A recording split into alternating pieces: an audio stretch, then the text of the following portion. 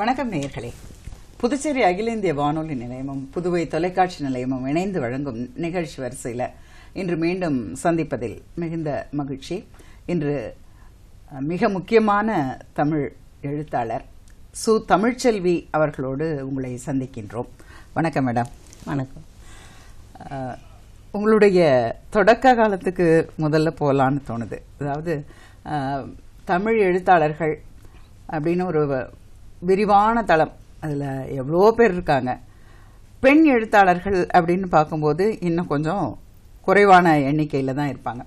ஆனால் அது வந்து வைமு கோதநாயகியில் ஆரம்பித்து இன்று வரைக்கும் தொடரக்கூடிய ஒரு பட்டியல். அதில் வந்து யார் பட்டியலிட்டாலும் மிக முக்கியமான எழுத்தாளர்ன்ற அந்த வரிசையில் உங்களை உங்கள் பேரை தவிர்க்கவே முடியாது.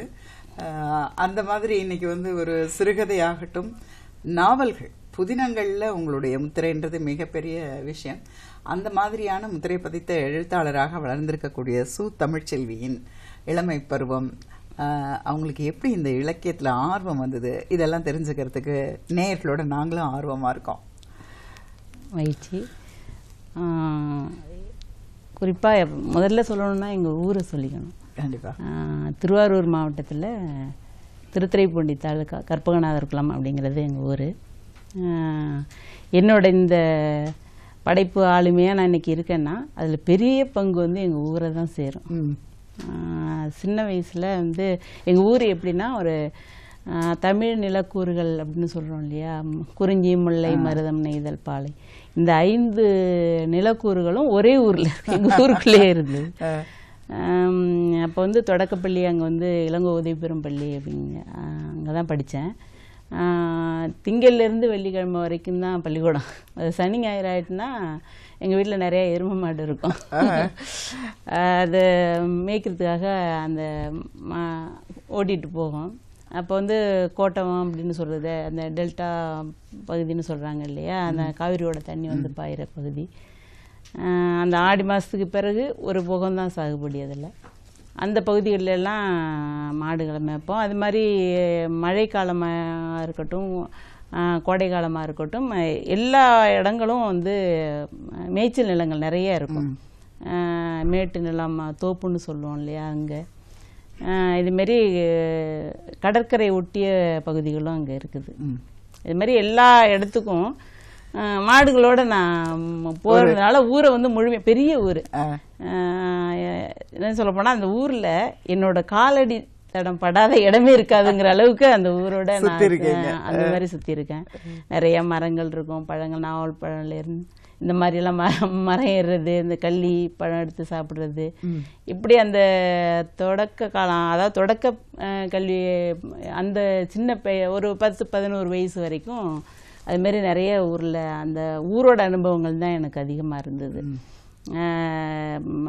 வள்ளிக்கிழங்கு இந்த கொட்டிக்கிழங்கு இதெல்லாம் சொல்லுவோம் இல்லையா? அதெல்லாம் பறித்து அந்த பிள்ளைங்க ம- அந்த வாய்க்காலில் ஓடுற மீன்களை பிடிச்சி சுட்டு சுட்டு அந்த அந்த சின்ன வயசுக்கு என்னென்ன வேணுமோ எல்லாத்தையும் அனுபவிச்சாச்சு அங்கே.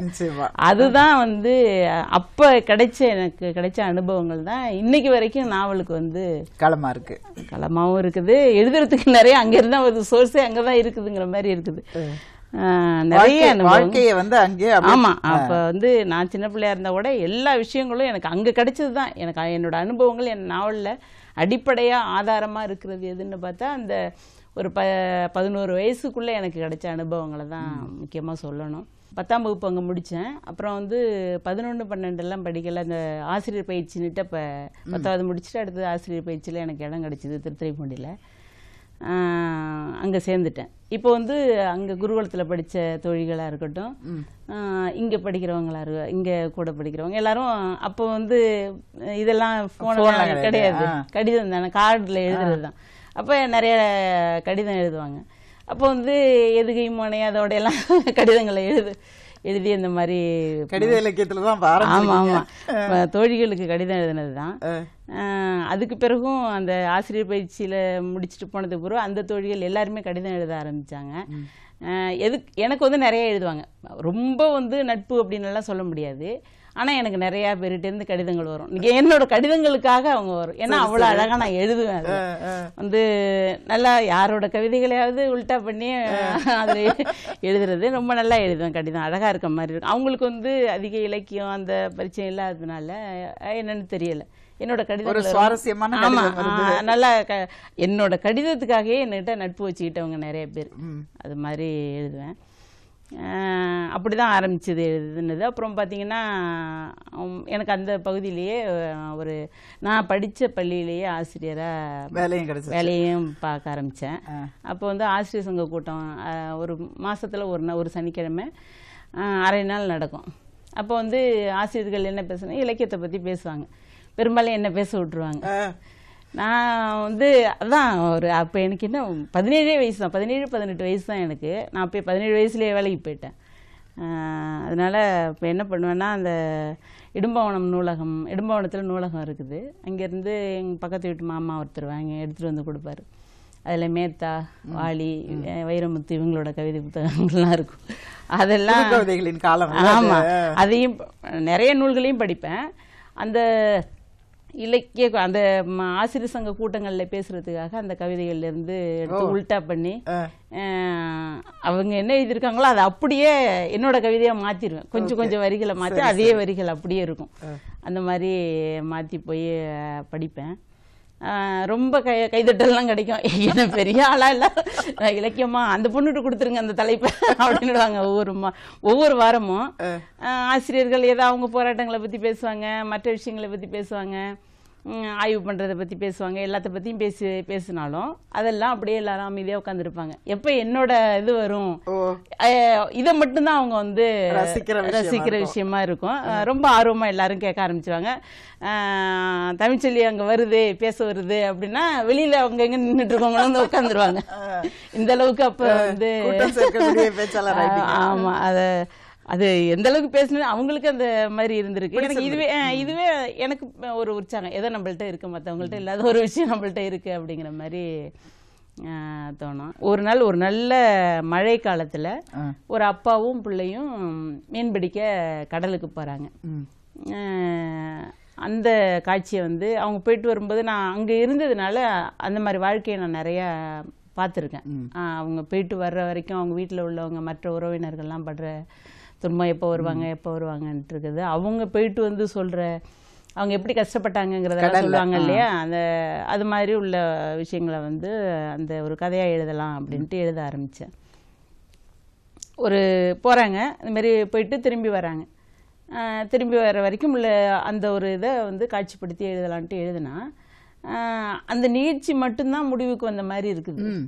அதோட ஆனா அந்த கதையோட முடிவு அதுல இல்ல. உங்களுக்கு தோணுது. ஆமா அதுல அது முடிவே இல்ல இது அதுக்கு பிறகு நிறைய இருக்க மாதிரி தெரியுது. அந்த அந்த போயிட்டு வர ஒரு ஒரு காட்சி ஒரு நிகழ்ச்சி மட்டும்தான் முடிஞ்சிருக்கே தவிர அது கதையோட முடிவு மாதிரி தெரியல. நமக்கு சிறுகதைன்னா என்ன வேணும்? கதை இருக்கணும். ஒரு முடிவும் அதுல வந்து இருக்கணும் ஆனா இதுல அந்த முடிவு இல்ல. அஹ் எங்க வீட்டுக்காரங்கள்ட்ட கேட்டேன் இது என்னது? எழுதி நானும் எழுதுனது வந்து சிறுகதைன்னா நாலு பக்கம்னு பார்த்தா அது ஒரு இருபத்தி ரெண்டு பக்கம் வந்துச்சு. இருபத்தி ரெண்டு பக்கம் வந்துமே அந்த கதைக்கான முடிவு அதுல இல்லை. அப்ப அந்த அந்த முடிவு வந்து வேற எங்கேயோ இருக்க மாதிரி இருக்குது. நம்ம இன்னும் என்ன முடிக்கல. ஆமா ஏன், என்ன செய்யறது அப்படின்னு கேட்டா நீங்க எ- நீ வர வரைக்கும் எழுது அப்படின்ட்டாங்க. ஒரு குறுநாவலா கொண்டு வந்தேன் சிறுகதைன்னா முடிஞ்சிருக்கணுமேங்க. இருபத்தி ரெண்டு பக்கம் வந்துச்சு. முடியல அப்புறம் நான் என்ன பண்றது அப்படி அப்படின்னு சொல்றேன். எனக்கு கதை எழுத தெரியல. முடியல. எழுத தெரியல அப்படிங்கிற மாதிரி நான் சொல்றேன். இல்ல கதை சிறுகதை இல்லைன்னா என்ன குறுநாவலா நம்ம கொண்டு வரலாம். நீ எழுது அப்படின்னாங்க. அப்புறம் எழுதுற மூணு அத்தியாயம் எழுதிட்டேன் அடுத்தடுத்து. அது தொடர்ச்சியா அஹ் இது ஒண்ணு முடிஞ்சதும் அடுத்தது என்ன எழுதணுங்கிறது வருதோ எழுதி பார்த்தா மூணு அத்தியாயம் எழுதினாலும். கதையோட முடிவு எங்கேயோ இருக்கு மாதிரி இருக்கு, தூரமா இருக்கு. தூரமா இருக்கு. கதையோட முடிவை நெருங்குறதுக்கு நான் நிறைய எழுதணும் அப்படிங்கிறது மா அது மாதிரி இருக்குது. சொன்னேன் சரி எழுது அப்படின்னாங்க. இருந்தாலும் இவங்க மேல எனக்கு நம்பிக்கை வரல. இப்போ நம்ம வந்து ஏதோ எழுதி எழுத. எழுத வைக்கணுங்கிறதுக்காக இவங்க சொல்றாங்க. நம்ம எழுதுறது எழுத்தா. உண்மையா இது கதையா என்னன்னு தெரியலையே அப்படின்ட்டு. சரி எங்க- பகுதியிலேயே சபாநாயகம் அப்படின்னு மூத்த எழுத்தாளர். அவரு விருதாச்சலத்துல. ஆமா. ஆமா, நாவல்கள்லாம் எழுதுறவரு. அஹ், ஒரு நதி ஓடிக்கொண்டிருக்கிறது அப்படிங்கிறது அவரோட ஒரு முக்கியமான நாவல் அது. அவர் வந்து எங்க மேல ரொம்ப ஒரு நல்ல ஒரு அன்பா அக்கறையோட இருக்கக்கூடிய வழிகாட்டி. வழிகாட்டி. அவர்கிட்ட கொண்டு கொடுக்கல. நான் அவர்கிட்ட காமிச்சாதான் நான் அதுக்கு மேலே தான் எழுதுவேன் அப்படின்னு சொல்லிட்டு கையெழுத்து பிரதியை எடுத்துட்டு நீ நம்பலன்னா வா அவங்கள்ட்ட வந்து கா சார்ட்ட வந்து காமி அப்படின்னாங்க. ரெண்டு பேரும் போகிறோம் போயிட்டு அவரோட ஒரு பழக்கம் என்னன்னா இந்த படி படிக்க வேண்டியதை எல்லாம் வந்து வரிசை முறையில் அடுக்கி வச்சிருப்பார். ஓ. நிறைய படிக்க வேண்டியது இருக்கும். வரிசை முறையில் தான் அடுக்கி வைப்பார். முன்னாடி உள்ள தேதி மேலே இருக்கும். அடுத்தடுத்து வந்ததெல்லாம் கீழே இருக்கும். அந்த வரிசை கிரமமா எல்லாத்தையும் படிச்சு முடிக்க அந்த மாதிரி ஒரு ஒரு ஒழுங்குல ஒழுங்குல செய்வாரு. செய்வார். அவர் வந்து எனக்கு பர்மா இவ்வளவு படிக்க வேண்டியது இருக்கு. சரி கொடுங்க அப்படின்ட்டு வாங்கி அடியில. அடியில. ஏன்னா ஒரு மாசம் போல ஆகும்ல இருக்கு அடிக்கி இருக்கிறதே. இது இவருமே எப்ப படிச்சு எப்ப நம்மளுக்கு சொல்லி அப்படின்னு சொல்லிட்டு கொடுத்துட்டு வந்துட்டோம். ஆஹ் இன்னொரு பழக்கமும் அவர்கிட்ட உண்டு. ரொம்ப சிக்கனவாதி தேவையில்லாம செலவு செய்ய மாட்டாரு. ஒரு ஏதோ ஒரு விஷயத்த நம்மளுக்கு சொல்லணும்னு வச்சுங்களேன்.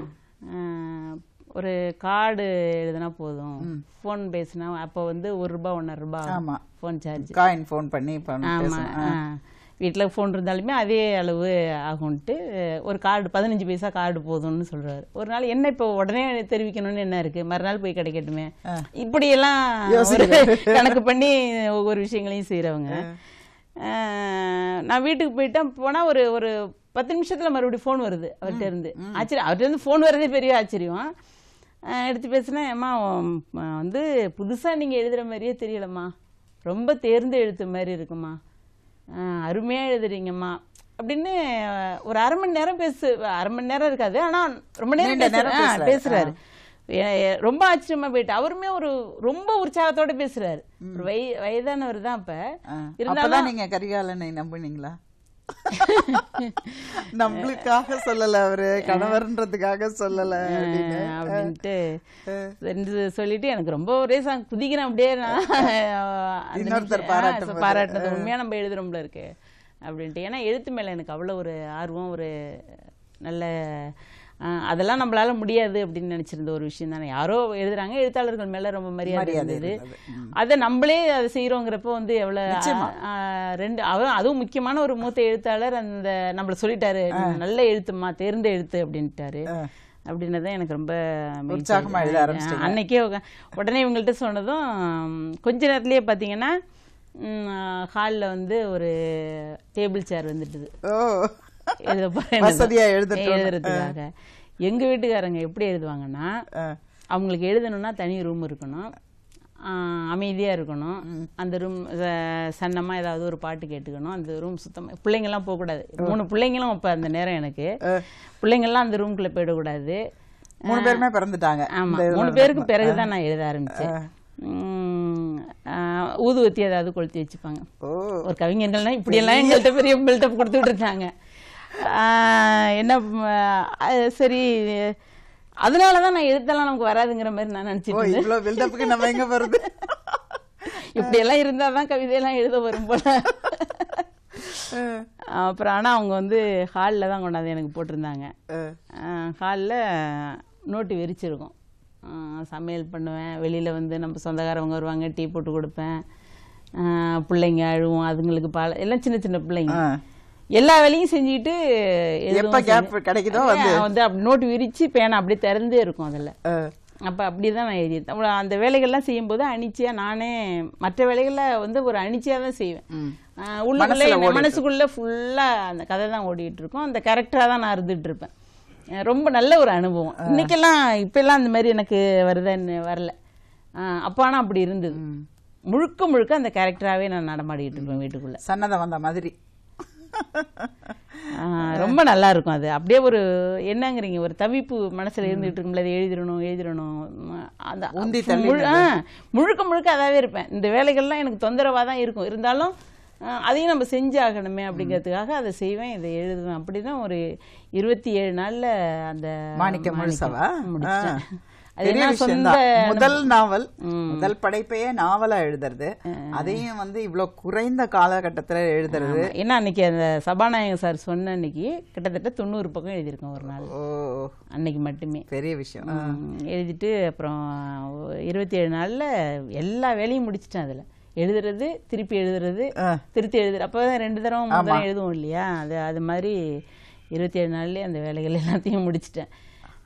அந்த மா- இதுல ஆசிரியராகவும் வேலை. இருந்தீங்க. அதுவும் அது- அது அந்த நேரம் கரெக்டா அங்க அங்க முடிச்சு இங்க வந்து இங்க கொண்டு வரதில்ல. இந்த வேலையை அங்க கொண்டு போறதில்ல. ஆஹ் இங்க என்னன்னா பிள்ளை பிள்ளைகள் வீடு இது கூட தான். நீங்க இப்போ அவர் தான் உங்களுக்கு அதுக்கு நடுவுல அறிமுகப்படுத்திட்டார்ல. பாமா அம்பை சூடாமணின்னுட்டு இந்த புதிய இந்த எழுத்துக்கள் எல்லாத்தையுமே வாசிக்க ஆரம்பிச்சிருப்பீங்க.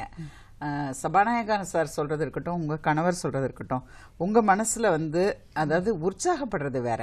ஒரு எழுத்தாளராக உங்களை மதிப்பிட்டு பார்த்தீங்களா? அவங்களோட ஒப்பிட்டு பார்த்து. அது மாதிரி அந்த ஒரு எண்ணம் இருந்ததுனால தானே எழுதவே வந்தோம் இருந்தாலும் அடுத்து இப்போ நம்ம எல்லாருமே ஒரு அங்கீகாரத்துக்கு அங்கீகாரங்கிறது. முக்கியமா இருக்கு அப்ப அந்த வயசுல இப்ப கேட்க இப்ப நான் சொல்ல மாட்டேன். எனக்கு தெரியும் என்னோட எழுத்து அப்படின்ட்டு போயிடுவேன். ஆனா அந்த நேரத்துல வந்து கொஞ்சம் எனக்கு வேற எங்க என்னோட கணவர் வந்து. எழுத சொன்னாங்களே தவிர இன்னும் கொஞ்சம் பேர் நான் அதை குறிப்பிட்டு யாரும் சொல்ல விரும்பல. அவங்கெல்லாம் வந்து எதுக்கு எழுதிட்டு. குடும்பத்தை பார்க்க வேண்டியது தானே? ரெண்டு நாள் வந்ததுக்கு பிறகு கூட இந்த மாதிரி எனக்கு வந்தது. இதெல்லாம் என்ன எழு பெண்களை வேலை இல்லாத வேலை வேலை இல்லாத. எங்க வீட்டுக்காரங்கள்ட்டே அவங்க நட்பு வட்டத்துல ஏன் பண்ணிடுற எழுத வச்சிட்டு இருக்கு அதெல்லாம் என்ன இருக்குது அதுல? அப்படிங்கிற மாதிரி எழுதி என்னத்தை சாதிக்க போறாங்க.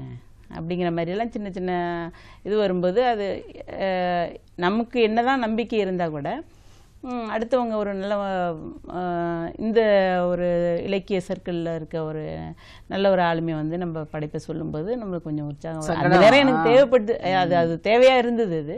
அவர் அதை கரெக்டாக செஞ்சார். இந்த அந்த நாவல் என்னன்னா மாணிக்கம் நாவல் வந்து அந்த டெல்டா பகுதிகளில் கடைமடை பகுதி கற்பகனாகுளம்ங்கிறதெல்லாம் அங்கே வந்து முழுக்க முழுக்க விவசாய நிலங்கள்.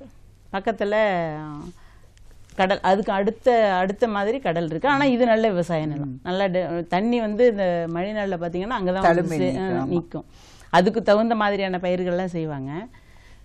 அந்த காவிரியில காவிரியில தண்ணி வராம போச்சு இல்லையா? அது அங்கதான் அப்பதான் தொடங்குது. அஹ் என் கண்ணெதிரிலே நல்லா செழிப்பா இருந்த அந்த நிலப்பரப்பு எல்லாமே அப்படியே நான் சின்ன வயசுல அப்படி இருந்தது. அடுத்து கொஞ்சம் வளர வளர பாத்தீங்கன்னா தண்ணி வராம அப்படியே கிடக்குது. தரிசா கிடக்குது. அப்புறம் அந்த கடல் தண்ணி வந்து இங்க இந்த தண்ணி வரலன்னா கடல் தண்ணி அடி நிலத்தடி நீர் அப்படி வருது இல்லையா? நிலத்துக்கு அடியிலேயே கடல் தண்ணி வந்து அந்த நிலமெல்லாம் உப்பு நி- உவர் நிலமா மாறுது. நல்ல விவசாய நிலம். உவர் நிலமா மாறுறது வந்து நம்ம கண் முன்னாடி அந்த ஒரு சாட்சி அது ரொம்ப எனக்கு மனசுல ரொம்ப வ- வலி வேதனை ஏற்ப அப்பயே ஏற்படுத்தி இருக்குது ரொம்ப அதை நான் வந்து ரொம்ப கஷ்டப்பட்டிருப்பேன்னு நினைக்கிறேன். அதனால தான் அந்த நாவலை வந்து நம்ம கொண்டு வர முடிஞ்சது அது மாதிரி. அந்த விவசாயிகள் அங்க விவசாய நிலத்தை நம்பி இருந்த விவசாயிகள் எல்லாம் விவசாயம் பொய்த்து போனதும் அந்த கடலை நம்பி கடலுக்கு அந்த மீன்பிடி. கருவிகள் எடுத்துட்டு கடலுக்கு போறது. இது எவ்வளவு பெரிய மாற்றம்? நிச்சயமா. அவங்களுடைய அடிப்படை தொழிலே விவசாய கருவிகள் ஆடு மாடோட கோட்டவத்துக்கு போனவங்க வலை குண்டான் அப்படி மாதிரி அந்த மீன்பிடி கருவிகளோட. கடலுக்கு போறாங்க.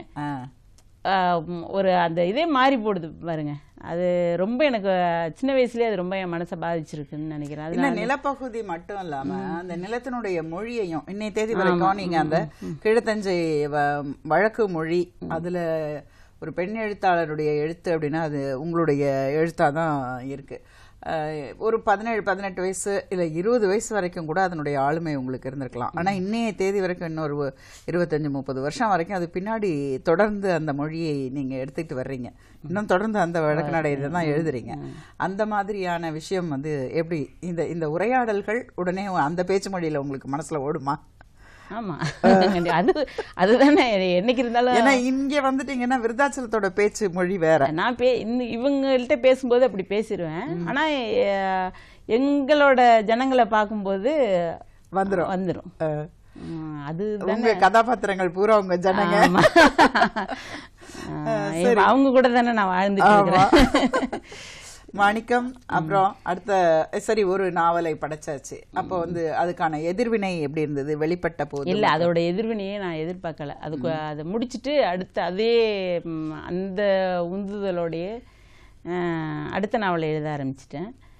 அது வந்து எங்கள் வேதாரண்யம் பக்கத்தில் எங்கள் பெரியம்மா ஊர் கோயில் தாழ்வுன்ட்டு. அங்கேயும் இது மாதிரி தான் உப்பளத்தை நம்பி இருக்கு. அங்கே உப்பளம் அதிகம். உப்பளத்தில் அந்த மக்கள் எல்லாருமே உப்பளத்திலேயே கடந்து உழைக்கிறவங்க. அவங்களோட வாழ்க்கை அந்த பி- பின்னணியில் எழுதணும் அப்படின்னு தோணிச்சுது.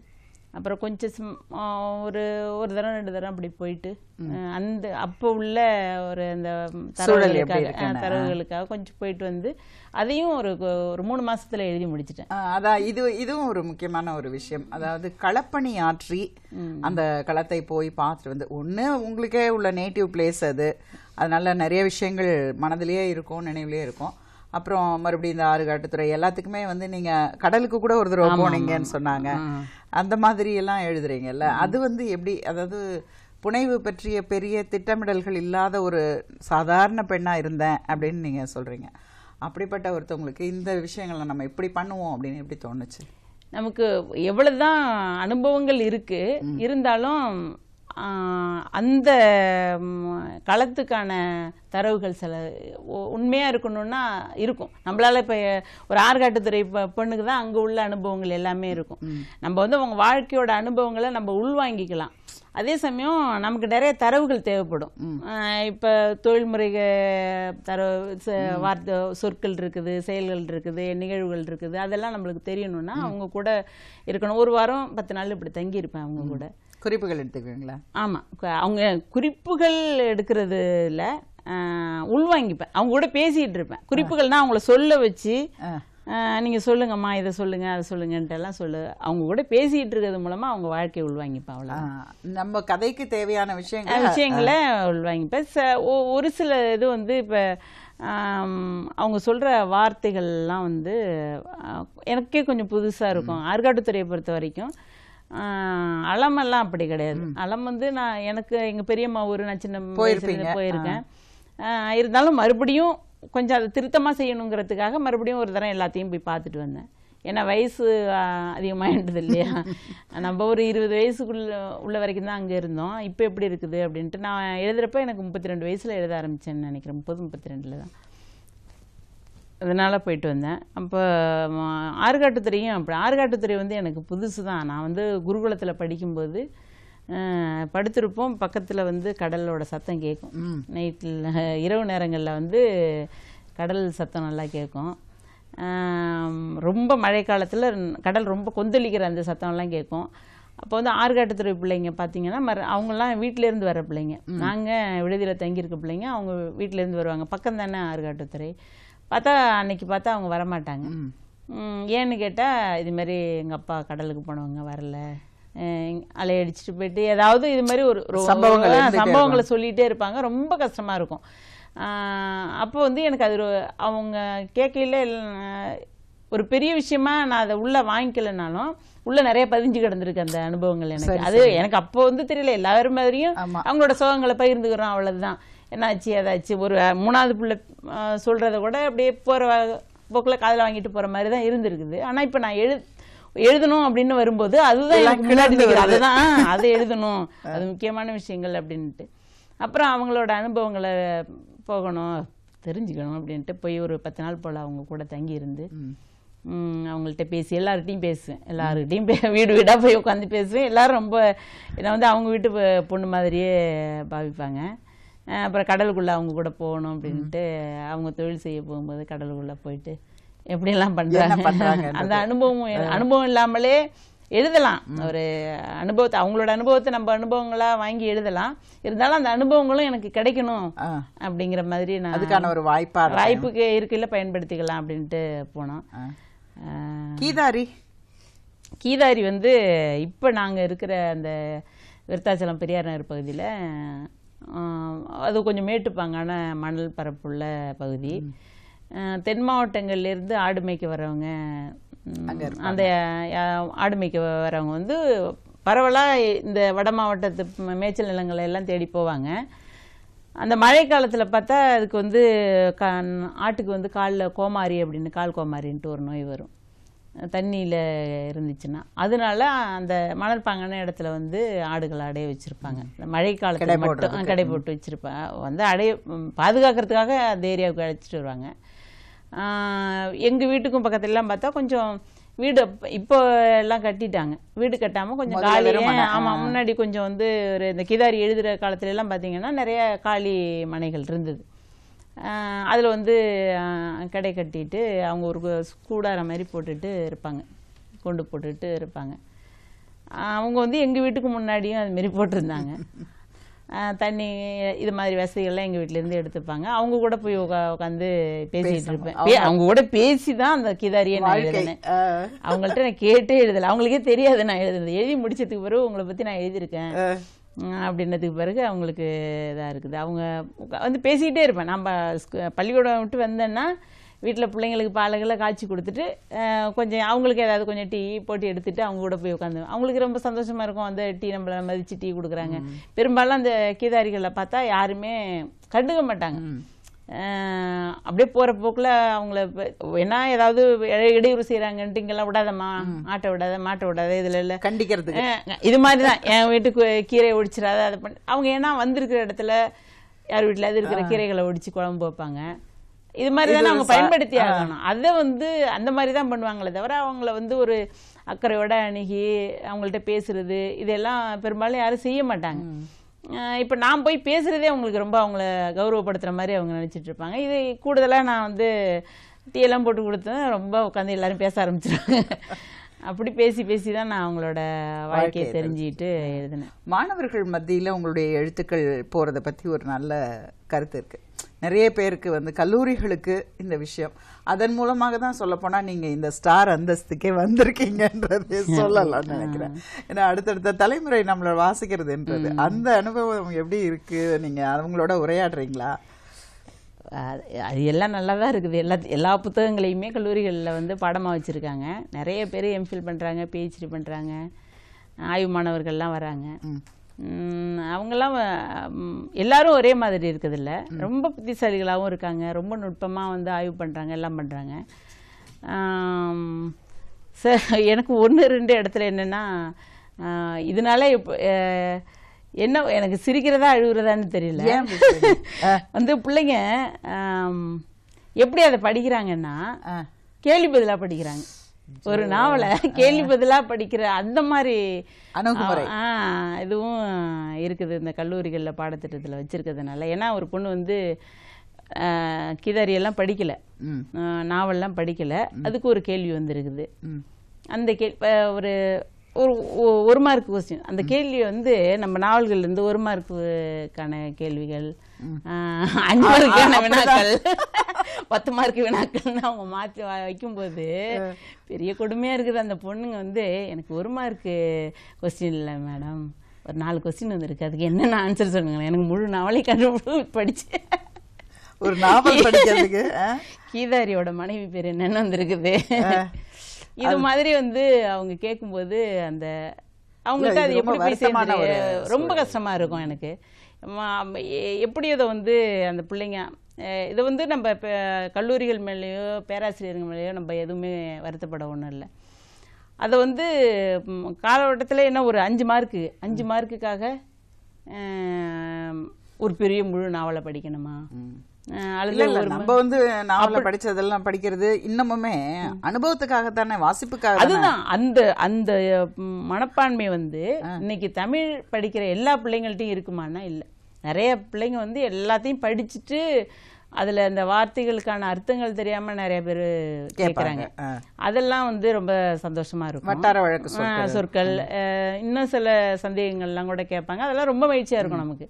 ஆனா இந்த மாதிரி கேட்கும்போது அவங்க என்ன நினைக்கிறாங்கன்னா இவங்க இதுல இருந்து ரெண்டு மார்க் வரும் மூணு மார்க்குக்கு வரும். இதுக்காக முழு நாவல உட்காந்து படிச்சிட்டு இருக்கு எங்க நமக்கு நேரம் இருக்குன்னு நினைப்பாங்களா என்னன்னு தெரியல. அது ரொம்ப மோசமான ஒரு போக்கு தான் அதுவும் இலக்கியம் படிக்கிறவங்க அவங்க அவங்க வந்து இலக்கியத்தை எதுக்காக வந்து பாடத்திட்டத்துல வைக்கிறாங்க அப்படிங்கிற நோக்கமே இதுல வந்து சிதைதா விட்டுருது. ஆமா. அது சிரமமா வருத்தமான ஒரு உண்மை இப்ப இது மூலமா வெளியில தெரியுது. நான் நான் என்ன நினைச்சேன் அப்படின்னா இவ்வளவு தூரம் பள்ளிகள் கல்லூ இது கல்லூரிகள்ல வந்து நிறைய பேர் ஆனா நல்லா படிக்கிற நல்லா வா- வாசிப்பு அனுபவம் உள்ள பிள்ளைங்களா இருக்காங்க. நானே வந்து என்னோட நாவல்கள்லாம் எனக்கு நிறைய மறந்து போச்சுது. முன்னா இப்ப நான் எழுதிட்டு இருக்கிறதுனால ஒரு அது என்னன்னு தெரியல. எழுதுறதுனாலயா என்னன்னு தெரியல. முன்னாடி எழுதின விஷயங்கள் எதுவுமே இல்ல. வந்து மேலோங்கி வந்துருது ஆ, அது இல்ல. அந்த பிள்ளைங்க வந்து அது அதுல வந்து சந்தேகங்கள் கேட்கும்போது திரும்ப ஒரு தடவை நம்மளே பார்க்க வேண்டியதா இருக்குது. அப்போ வந்து இவ்வளோ ஆழ்ந்து படிச்சிருக்காங்களே இது ரொம்ப ஆச்சரியமா இருக்கும். இவ்வளோ நல்லா படிச்சிருக்காங்க அப்படிங்கிற மாதிரி எல்லாம் இருக்கும் சாதாரண மக்கள் கூட நல்லா படிச்சிடுறாங்க இந்த ஒரு சில பிள்ளைகள் வந்து தமிழ் படிக்கிறவங்க ஏதோ கடமைக்கு அந்த ஒரு நம்ம டிகிரி படிக்கணுங்கிறதுக்காக பண்றாங்களா என்னன்னு தெரியல. அவங்கெல்லாம் வந்து இது மூலமா நம்ம கேட்டுக்கிறது என்னன்னா ஒரு மார்க்குன்னு நினைக்க வேண்டாம் அதை. ஒரு வாழ்க்கை இல்லையா அது? அது படிச்சா எவ்வளவு நமக்கு அனுபவங்கள் கிடைக்குது? இல்ல மார்க்குக்கு படிப்புக்குன்னே இல்லாமல் மத்தவங்க படிக்கிறது தான் அதிகம் பேர் படிக்கிறாங்க. ஒரு வாசகராக இருந்து அதை வாசிப்பதுன்ற அந்த அனுபவம் தான் வந்து பெரிய விஷயம். அதையும் தாண்டி உங்களுக்கு படிப்புன்ற கட்டாயம் அந்த அனுபவத்தை தர்றதுக்கு காத்துட்டு இருக்கு. அந்த பழக்கத்துக்காக தானே இதை வந்து பாடத்திட்டத்திலேயே கொண்டுட்டு வராங்க. சரி இப்போ நீங்க வந்து படைப்புகள் நீண்ட காலமா எழுதிக்கிட்டு இருக்கீங்க. நல்ல அங்கீகாரங்கள் இது வரைக்கும் ஓரளவுக்கு சில இதெல்லாம் கிடைச்சிருக்கு. அந்த விருதுகள் அங்கீகாரங்கள் அதை பத்தி கொஞ்சம் பேசுவோம். விருது என்னோட தமிழ்நாடு அரசு விருது. ஆமா முதல் படைப்பு மாணிக்கத்துக்கு தமிழக அரசு தமிழ் வளர்ச்சித்துறை விருது கிடைச்சது. அடுத்தது வந்து கலைஞர் பொற்கிழி விருது கிடைச்சது. கலைஞர் சந்திச்சு நீங்க பாராட்டு வாங்குனீங்கல்ல ஆமா ஆமா. ஆம், ரெண்டாயிரத்தி எட்டுல. முதல் முதல்ல அறிவிச்சப்ப அதுல அந்த விருது அப்பதான் அறிவிக்கிறாங்க. அதுலயே என- எனக்கு கொடுத்தாங்க. அடுத்தது அம்பை வந்து ஸ்பேரோ அப்படின்ட்டு ஒரு விருது கொடுத்தாங்க. பெண் எழுத்தாளர்களுக்கான ஒரு களஞ்சியம் மாதிரி அவங்க உருவாக்கி ஆமா இருக்காங்க. ஆமா. அதுல இருந்து ஒரு அங்கீகாரம். அடுத்தது வந்து அவள் விகடன் பத்திரிகையில. பத்திரிகையில புதிய தலைமுறை விருது. இப்படி பரவலா வந்து அந்த தாமுசா ம். அவங்க விருது கொடுத்தாங்க கற்றாழைக்கு கற்றாழைக்கான விருது. சிறந்த புதினங்களுக்கான விருது சிறந்த எழுத்தாளர்ன்ற கேட்டகரியில விருது உங்களுடைய ஒட்டுமொத்த பணிகளுக்கான விருது. சிறுகதைகளை பத்தி நம்ம இன்னும் பேசல. சிறுகதை தொகுப்புகளும் வந்திருக்கு இல்லையா? நம்ம வந்து அந்த ஏன்னா சிறுகதை எழுதுற பேர் வழின்னு ஆரம்பிச்சு தான் நீங்க மாணிக்கத்துக்கு போனீங்க புதினத்துக்கு போனீங்க. எல்லாரும் சிறுகதையில இருந்து புதினத்துக்கு போவாங்க. நீங்க புதினத்துல இருந்து சிறுகதைக்கு வந்தீங்க. அதை பத்தியும் கொஞ்சம் சொல்லுங்க. சிறுகதை தொகுப்புகள். சிறுகதை வந்து பத்திரிகைகள் கேட்கும்போது எழுதினேன். திட்டமிட்டு சிறுகதை எழுதுறதுக்கு எனக்கு அந்த மாதிரி வாய்ப்பில்லை.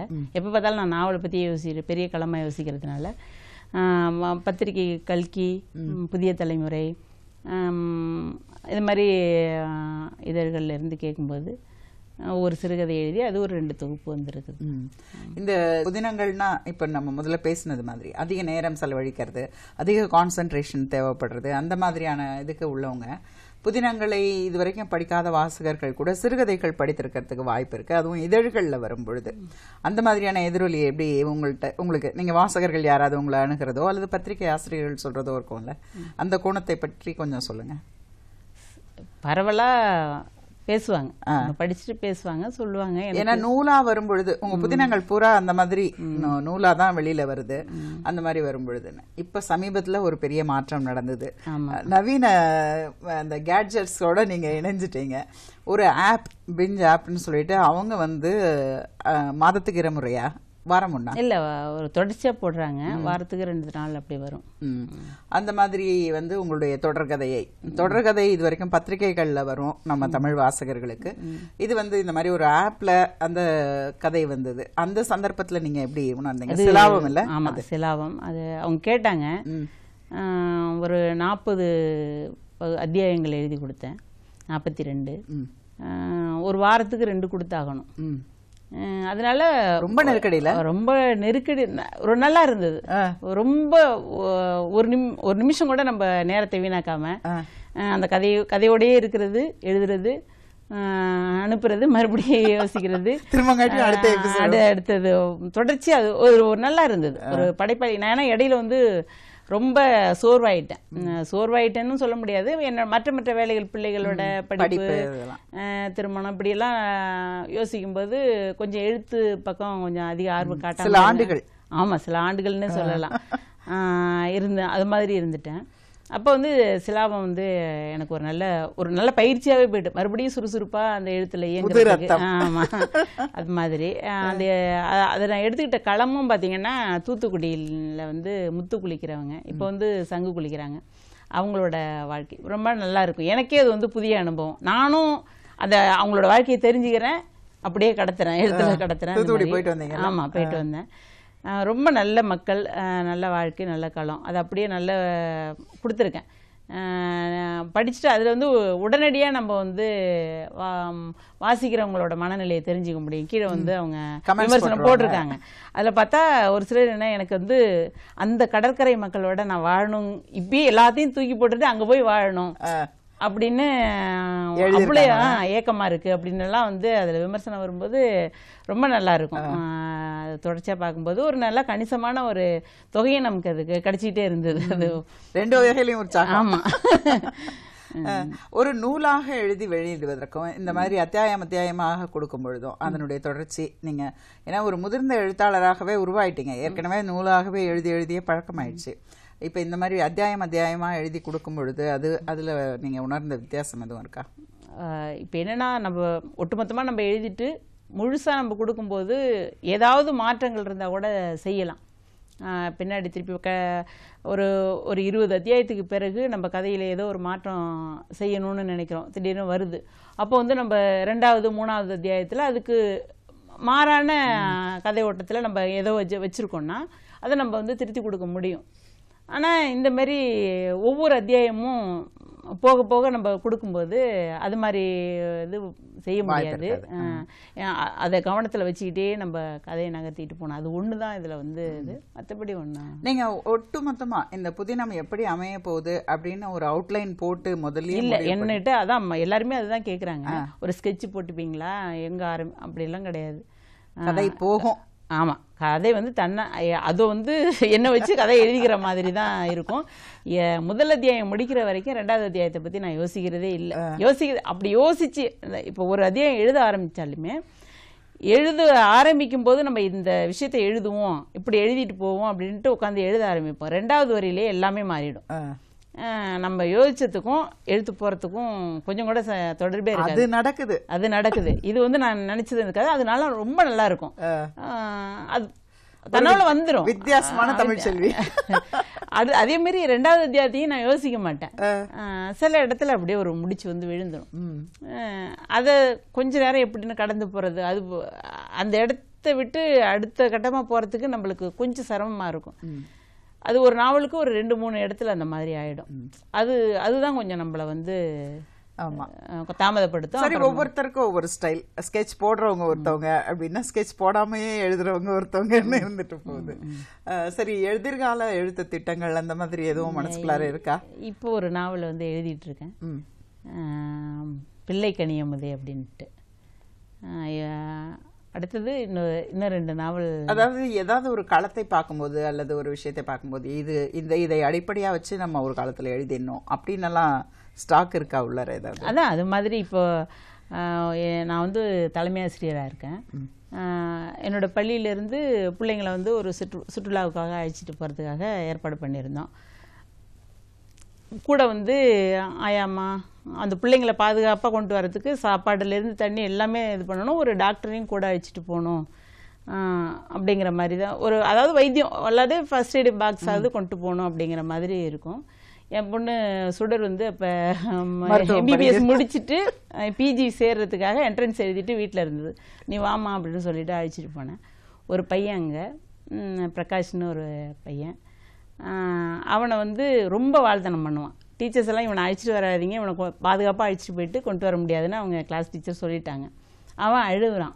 நானும் வந்து தான் ஆவேன் அப்படின்னு. சரி நான் என் பொறுப்புலையே எடுத்துக்கிறேன்னு சொல்லிட்டு என் கூட வச்சிருக்கையில என் பொண்ணு வந்ததும் என் பொண்ணு கையில் நீ பத்திரமா பார்த்துக்கம்மா இவனை கையிலேயே வச்சுக்க அப்படின்னு சொல்லியிருந்தேன் ஆனால் அது வந்து கூட உட்கார வச்சு அவன்கிட்ட பேசிக்கிட்டே வருது. அவனை அவனை அவன்கிட்ட பேசிட்டு வரும்போது அவனோட வெளிப்பாடுகள் இருக்கு இல்லையா? இவ்வளோ வாழ்னு சொல்கிறாங்களே இவ்வளோ மோசமான பையன்னு சொல்கிறாங்களேன்ட்டு அவன் என்ன செய்கிறான்ட்டு அவன்கிட்ட பேசிட்டு வருது. அந்த உரையாடலில் முக்காவாசி நேரம் சுடரோட கண்ணுல இருந்து தண்ணி வருது. ஓ.